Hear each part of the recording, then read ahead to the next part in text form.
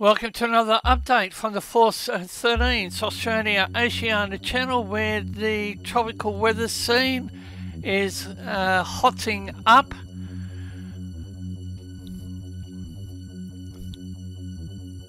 We have 97 now 09 tropical cyclone Gita. Central pressure 992 was located at 14.4 degrees south, 175.2 degrees west. The 7 is moving east at about 15 knots and Fiji has officially tagged it as a Cat 1 cyclone. Maximum 10 minute average uh, winds near the centre estimated about 35 knots. Here's the uh, first track on the cyclone to be uh, given official status overnight, but Fiji, on advice, has decided to name it earlier. And it's heading for a Cat 2 level. Gita was named Due to warning purposes requested by the Pago Pago Met Service as a night looms and is expected to be a 40 blown cyclone overnight, which will be Cat 1. Deep convection persistent in the northern semicircle. And here's another look at the Himawari 8 satellite view for the southwestern uh, region, the NOAA floaters on the soon to be officially tagged as Tropical Cyclone Gita.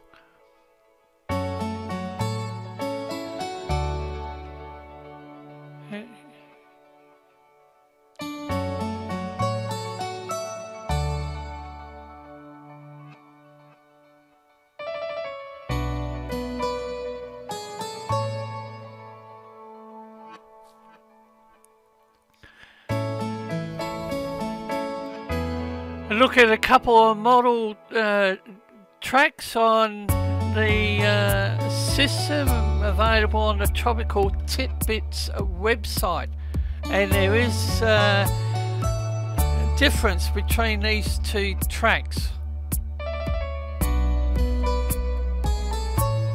It's far too early to say what the system is going to do, but it's still a possibility.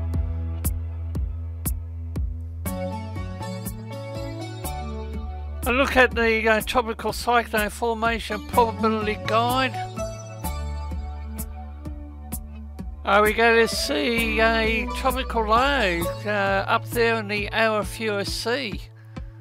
We have 99p and here's the latest from the Samoa Met Office Tropical Cyclone Warning Cat 1 39, 54 miles per hour will be effective for Samoa within the next 6 to 18 hours. Wind advisory remains in effect for all Samoa. Heavy rainfall. Flood advisory will be effective for low-lying coastal areas due to high surf from uh, Saturday morning. And there's also a advisory uh, out for small craft and all Samoan open waters.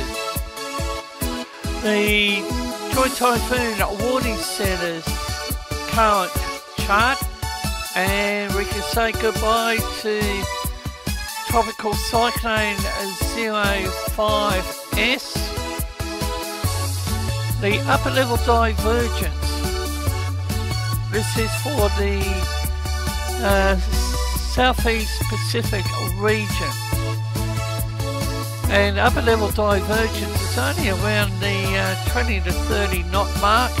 Now here's uh, the wind shear.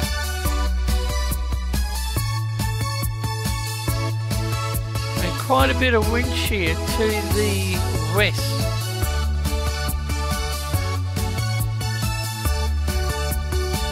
And switching uh, to Queensland, strong wind warning is in place for the Torres Strait Peninsula coast. This is due to uh, 99p.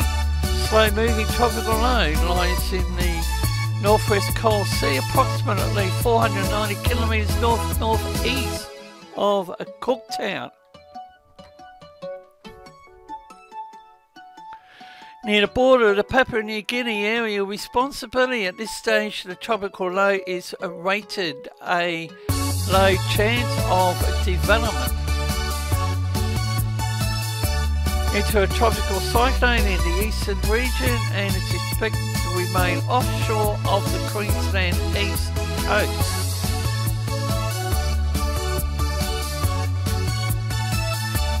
Likelihood of a tropical cyclone over Saturday, Sunday, Monday remains low.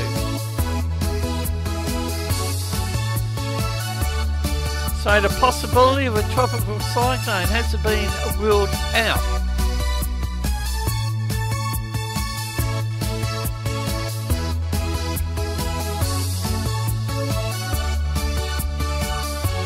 There are no significant tropical lows in the northern region. Trough currently near the north coast of the top end is expected to drift north into the Arafura Sea and slowly develop. A weaker low pressure system may form on that trough. And if you look at the tropical cyclone formation probability guide, you can actually see the area uh, close to Darwin. Now we have a look at the 850 millibar vorticity for the uh, southeast Pacific region and you can see where the Cat 1 cyclone is currently located. We still have uh, Invest 98P on the radar.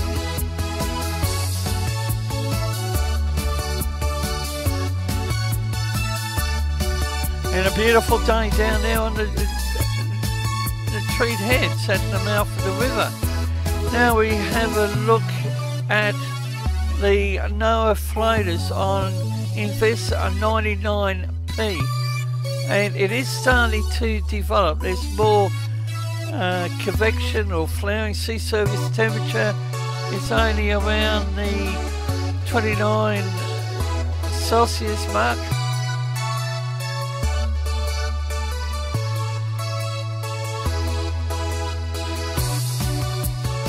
As the tropical weather scene is developing. We will be ramping up the uh, updates and possibly some uh, live streaming events on the AU channel. I'm not sure whether Nathan is going to start doing his uh, tropical weather bulletin on the main channel. That remains to be uh, decided. Now we have a look at the wind shear for the Southwest Pacific region.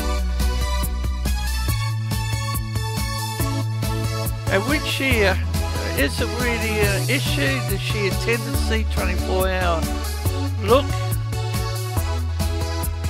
And as mentioned, the uh, systems love the area in blue and green, the 850 millibar vorticity.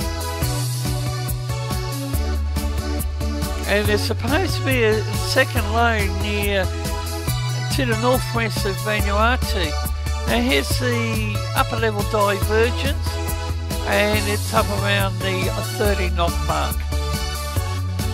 Now, uh, over the last uh, couple of hours, Papua New Guinea uh, Met Office has upgraded their warning page, a strong wind warning is in place for waters the southern Papua New Guinea Indonesian border region through Daru to Hood Point. And that is the area in light green and all that yellow represents other warnings. Turning to the Bureau Meteorology's total forecast of rain and you can see where 99p is, the rainfall scale it's on the right hand side of the screen and uh, of interest is the purple to the pink and again the Arafura Sea down over the Northern Territory Western Australia border.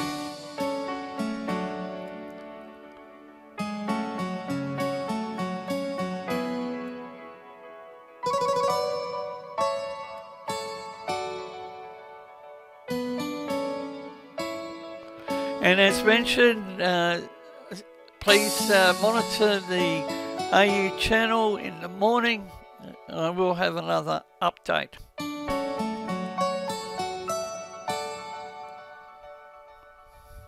And bye for now. You can follow Force 13's outlets, the website force13.com, which has had a revamp and is still under reconstruction, but take a look. Also, YouTube, of course, if you haven't subscribed, that might be a good idea. Visit Force 13. We're also on Facebook under the same name, of course, and you can like us on there, and you can also follow us on Twitter. Search Force 13, all in text for those. You can also add Force 13 on Skype or my personal account on Discord, Fool13, at extension 9094.